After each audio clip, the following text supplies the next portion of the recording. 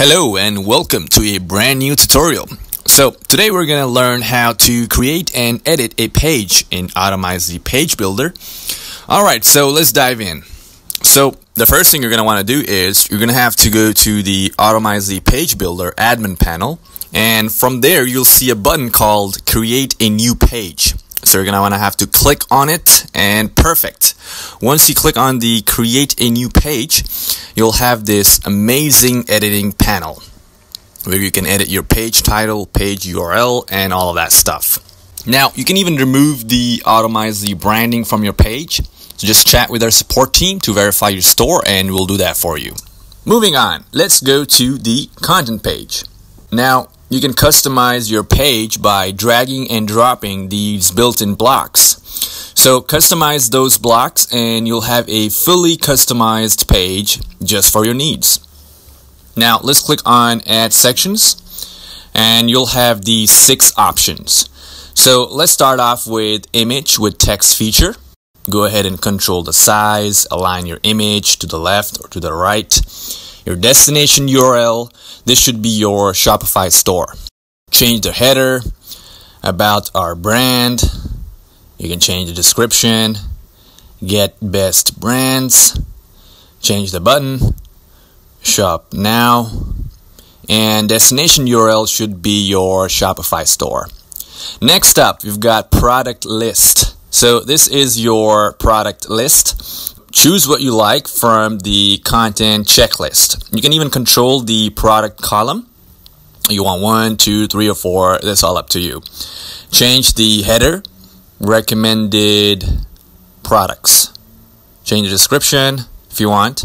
We'll just leave it as it is. Let's add another section. Image. Add, control the size, and destination URL is your Shopify store. Now click on add section again and let's pick text. Change the alignment, size, weight.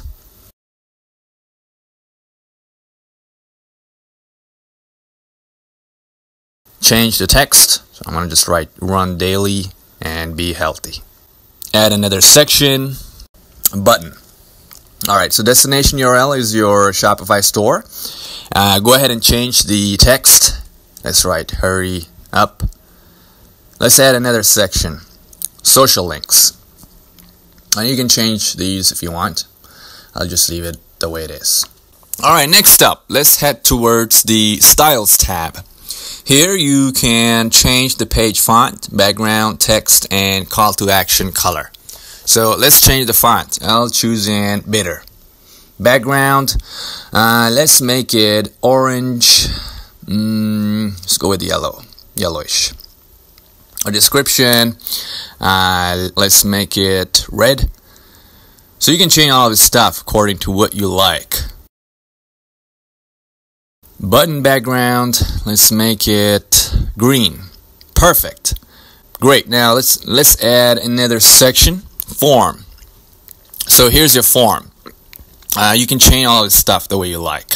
Now we're all done, so we're gonna have to uh, go ahead and publish our page and make sure your page is saved. Just make sure your page is saved. Perfect. Let's add the page, and to do that, mm, we're gonna have to go to your Shopify admin. So just click on this blue button, and it'll take you there. Now in your navigation panel, click on Main Menu, click on Add Menu, name it, uh, say Brands link, let's add brands, click add and click save. So let it finish loading. It's going to take a while, but it'll be done soon. Let it finish loading. All right, so now we'll click on footer menu. Click on add menu. So we're going to do the same thing. Brands, link, brands, edit, and make sure you click save. All right, so now we're all done, and we're gonna have to take a look at our store. So click on online store. You got a little i button there, so just click on it and let's check it out. Perfect.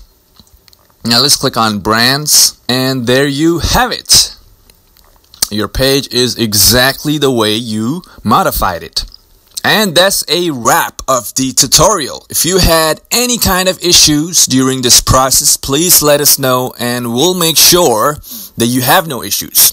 Thank you again for watching. Make sure you like, thumbs up, and subscribe to our channel. And I'll see you next time. Take care and goodbye.